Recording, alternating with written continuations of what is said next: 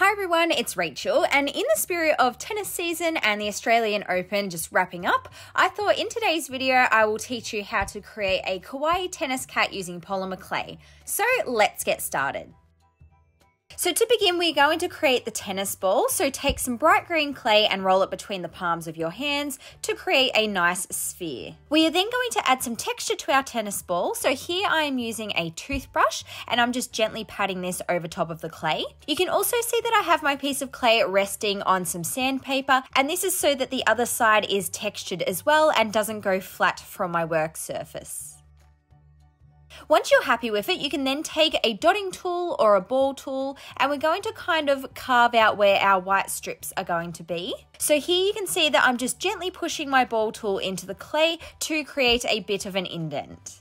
If you lose any texture while doing this, you can of course go back and retexture any spots that you need to. At this point, I went ahead and I baked my tennis ball in my oven just for five minutes to harden the clay slightly, and this makes it much easier to work with when adding the cat design onto it. So moving on to the cat, take whatever color clay you would like. My cat is going to be white. Roll a ball of clay for the head, and then we're going to create the body by rolling another ball of clay into a teardrop shape on our work surface, and then trimming off the very top part with our blade so that we have a flat space to work with. To help attach my unbaked clay onto my baked tennis ball, I'm going to be using some Sculpey Bake and Bond, which is a liquid clay.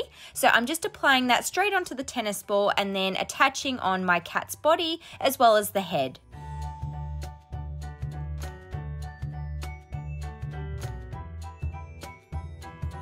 You can use one of your tools to blend the edges to make it nice and secure. Next, we are going to create the ears. So shape a diamond using your base color and then attach on a smaller pink diamond before then cutting this in half so that you end up with two even sized triangles for the ears. Position them on the head where you would like them and then blend down the edges. Now moving on to the face, create two indents where you would like the eyes to go and then place in two balls of black clay. For the mouth, attach two small U-shapes of black clay together in the center and then also add a little nose on top. And then you can finish off the face by attaching on some whiskers on either side. Next, we are going to create the little sweatbands for our cat. So I'm going to be using this purple colored clay, but you can really use whatever color you like. And I'm just rolling this into a snake on my work surface before then flattening it down slightly with my rolling pin. I'm starting off by attaching the sweatband around my cat's head. So here you can see that I'm just slowly working it all the way around and then trimming off any excess clay.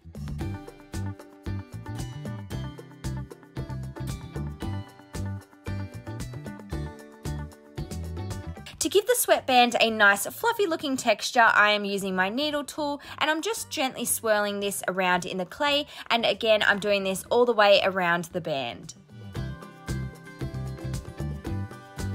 To create your cat's legs, take some more of the colour that you used for the body and roll four small teardrop shapes on your work surface. Once I had done that, I then attached on some of the purple clay on two of these teardrops and I'm making the little sweatbands on the cat's paws. Just like with the one around the head, I'm wrapping the purple all the way around and then trimming off any excess clay.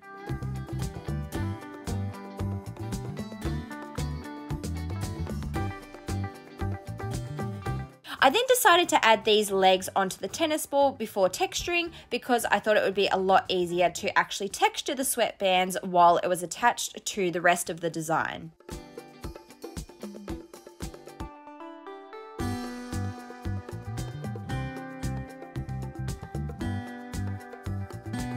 I then moved on to attaching the two back legs as well, just hanging off the side of the tennis ball, and then also adding a curly looking teardrop shape for the tail at the back.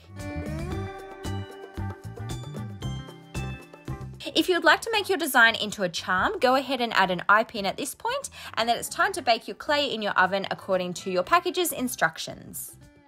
After baking, I took some super glue and I used this to secure the eye pin into the clay and then it was time to add the white design onto the tennis ball. So here I'm using just some regular white acrylic paint and a really thin paintbrush just to paint that on and I added a few layers to build up the colour. I also forgot to film it but I glazed the whole charm once the paint was dry to make it look nice and shiny and then also seal in the paint as well. So here is what my kawaii tennis cat looks like once it's completely finished. I love how clean this charm looks and also the different textures as well with of course the tennis ball and the sweatband. If you enjoyed this tutorial, please don't forget to give it a big thumbs up and also subscribe to my channel for lots more crafty videos and I will see you next time. Bye guys!